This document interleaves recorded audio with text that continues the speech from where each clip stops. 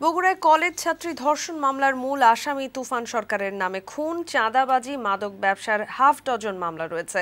ক্ষমতাসীন দলের ছত্রছায়ায় গত পাঁচ বছরে বাড়ি, গাড়ি, ব্যবসা, বাণিজ্য ও অঢেল টাকার মালিক হয়েছেন এই তুফান সরকার। ধর্ষণ মামলার গ্রেফতারের পর হারিয়েছেন শ্রমিক লীগের শহর শাখার আহ্বায়কের পদ। বগুড়া প্রতিনিধি কমলেশ মোহন্ত শানুর তথ্য চিত্রে ডেস্ক রিপোর্ট।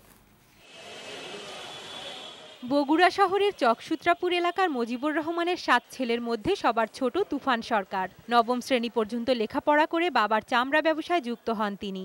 এরপর থেকে একের পর এক অপরাধমূলক কর্মকাণ্ডে জড়িয়ে পড়েন তুফান। র্যাব ও পুলিশের হাতে দুবার মাদকের বড় চালানসহ গ্রেফতারও হন।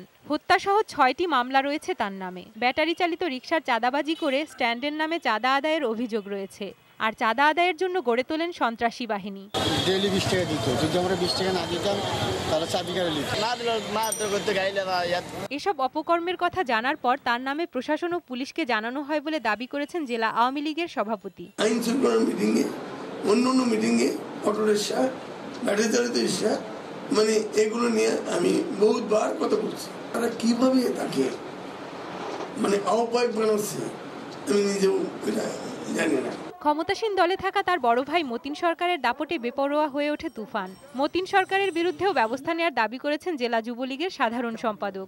মতিন সরকার যদি মাদক ব্যবসা করে তারও বিরুদ্ধেও যদি এসব বিষয়ে উপস্থাপিত হয় তার বিরুদ্ধে আইন শৃঙ্খলা বাহিনী ব্যবস্থা নেবে। কারণ আইনের ঊর্ধ্বে কেউ না। সে যেই হোক সে দলেরই বড় নেতাই হোক আর দলের বাইরেরই যেই হোক। তুফানের বিরুদ্ধে যেসব অভিযোগ রয়েছে তার তদন্ত চলছে এবং কোনো ধরনের চাপে ছাড় দেওয়া হবে না বলে জানান অতিরিক্ত পুলিশ সুপার। তার হেফাজত থেকে বিপুল পরিমাণ ফেন্সিডিল, ইয়াবা ট্যাবলেট এবং চোরাই দ্রব্য উদ্ধার হয়েছিল। এই মামলার অনুসন্ধান পর্ব শেষ হয়েছে। তদন্ত শেষে এই মামলার যে পুলিশ রিপোর্ট আমরা দাখিল করে দিয়েছি, এগুলো বিজ্ঞ আদালতে এখন বিচারাধীন অবস্থায়। এখানে কোনো পলিটিক্যাল প্রেশারের কোনো সুযোগ নেই। মাদক, চাঁদাবাজি, দখল ও নির্যাতনের বিশাল চক্র তৈরি করে তুফান রাতারাতি সম্পদশালী হয়ে ওঠেন বলে অভিযোগ এলাকাবাসীর। ডেস্ক রিপোর্ট, বৈশাখী সংবাদ।